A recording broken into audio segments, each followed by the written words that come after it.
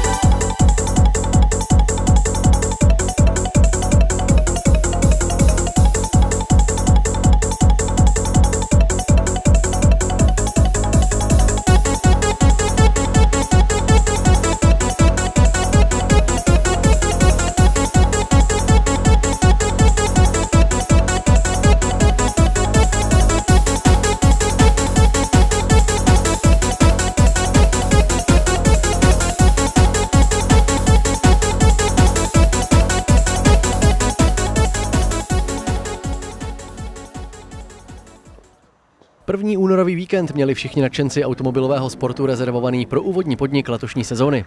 Stejně jako v předchozích letech jim byla ryze amatérská stopa, tedy oficiálně už 36. ročník ve stopě Valašské zimy memoriálu Josefa Sláčika. Včetně předjezdců bylo na startu 137 posádek připravených po prace s náročnou tratí, skládající se z deseti slalomových zkoušek na pěti úsecích. Ty byly v podstatě stejné jako loni. Začínalo se u Vizovické školy, pak se jelo do Jasené, Zdejší test se v minulém roce velmi osvědčil. Následovali tradiční barák, raková a hvozdná. Počasí tak trochu připomínalo předchozí ročník.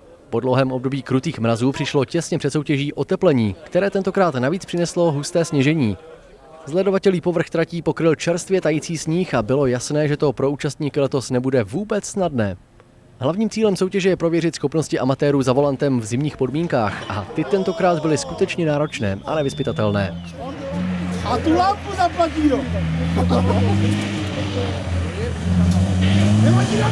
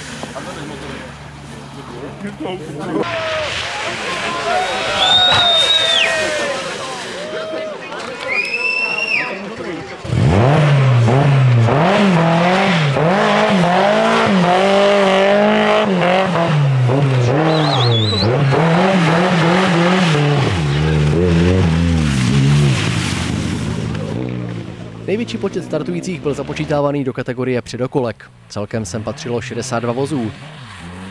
Podobně jako v předchozích letech vyráželi na trať jako první. Převládali tady tradiční favority a Felicie, ale pole bylo velmi rozmanité, když se objevilo hned 14 značek automobilů.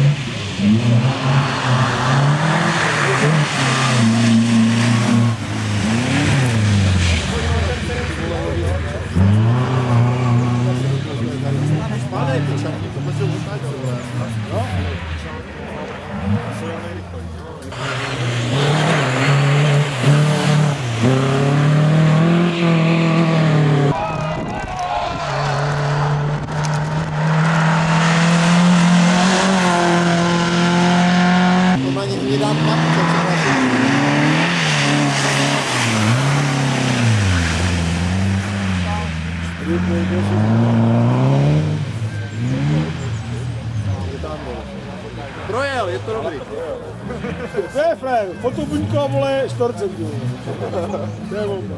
Málo kdo.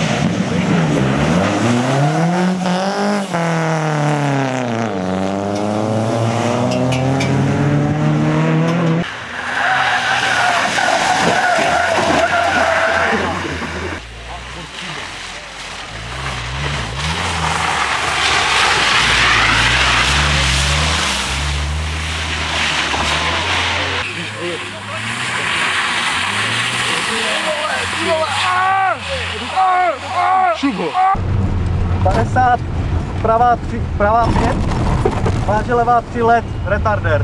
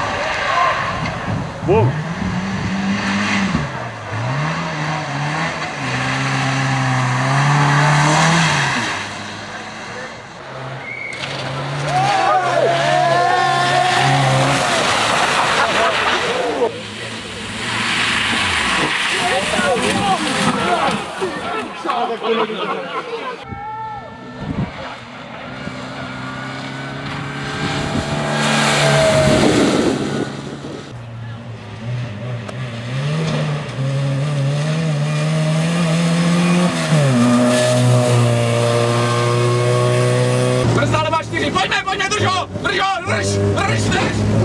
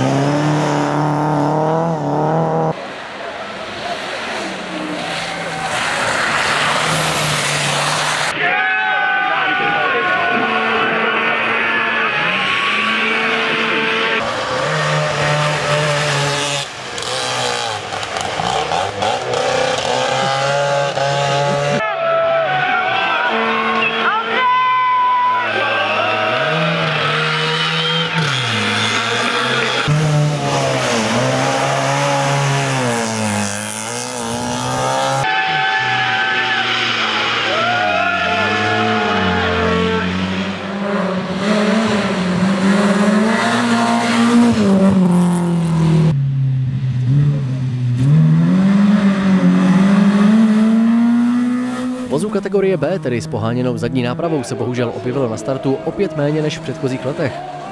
Pouhá 24 posádek se skládala z různých typů škodovek, od tisícovky MBčka až po Rapida. Pole přihlášených oživovali pouhé dva Bavoráky a jeden Čigulík.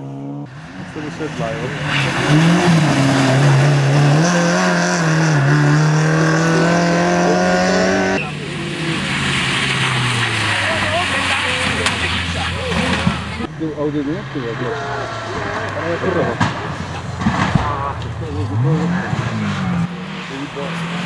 Спать, спать, спать, спать, спать. Едь, едь, едь, едь, едь, едь, едь, едь. Рубе. Махра, махра.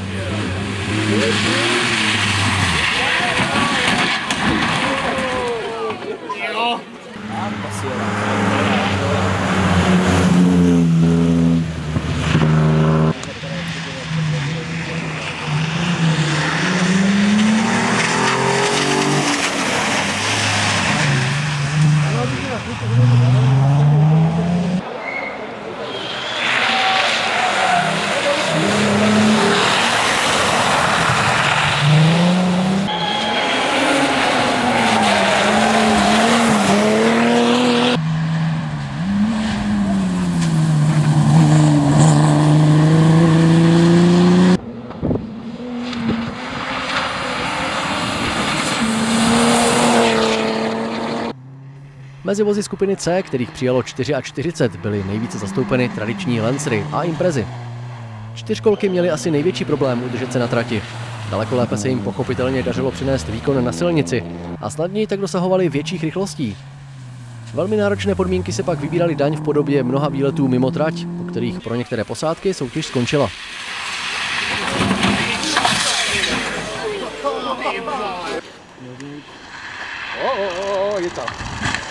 vole, to už zase nevytáhne.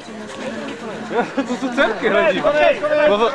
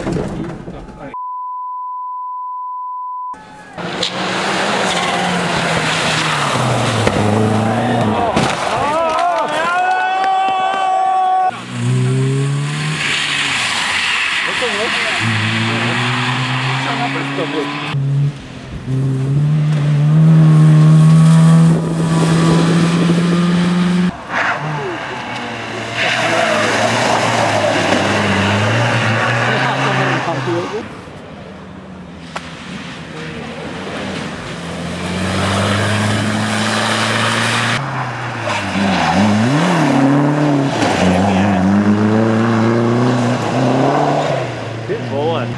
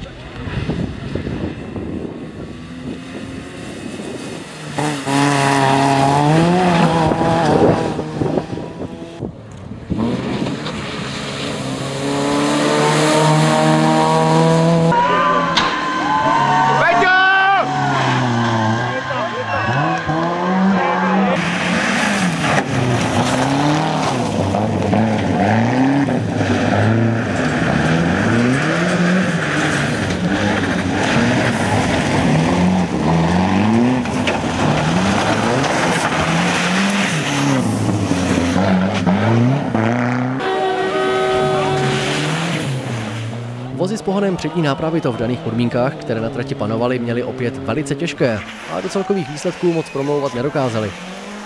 Nejrychlejší v této kategorii byl s více než 30-sekundovým náskokem Renault 5 posádky Tomáš Mikel, Martin Mikulec. Další příčky obsadili favority, když stříbrní skončili Martin Paták s Petrem Krajčou. Půl minutu za nimi následovali Milan Žárský a Josef Koritář.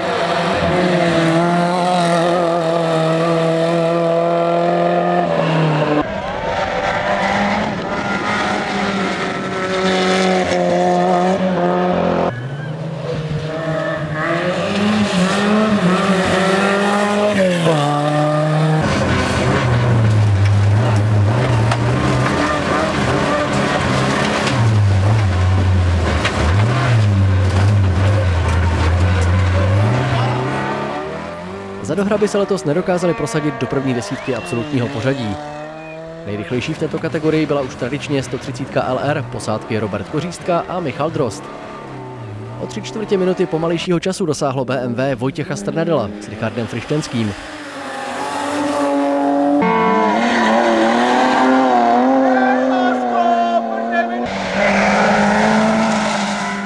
Bronz vybojovali Josef Častulík a František Heinz s další Škodovkou.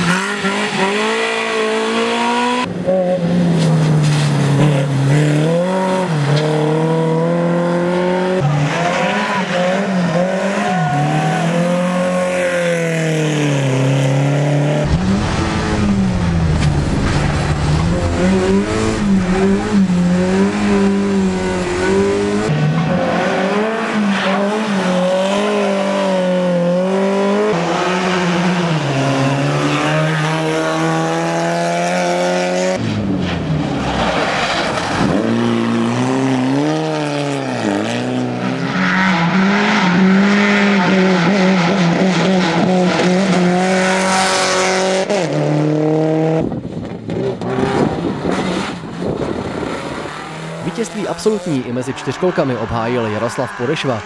V jeho tradiční impreze ho tentokrát doplnil na sedadle spolujezdce Jakub Slováček. I přes dvě drobné chybičky v retardérech měli v cíli náskok 35 sekund. Na druhém místě skončili Radim a Lukáš Sověákovi. Na rozdíl od Loňska, kdy nabrali spoustu trestných sekund za retardéry, se letos vyhnuli jakékoliv chybičce. Nebylo jim to však nic platné a stejně skončili druzí.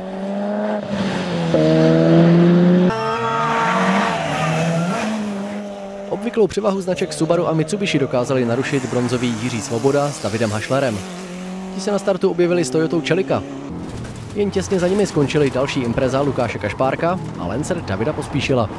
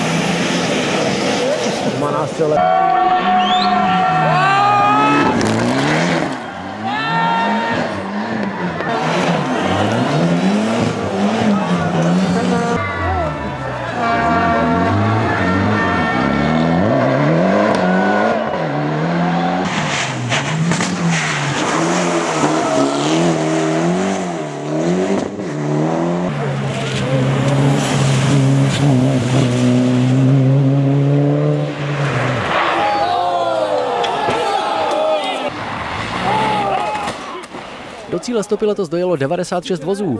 Extrémně náročné podmínky měly za následek velký počet havárií.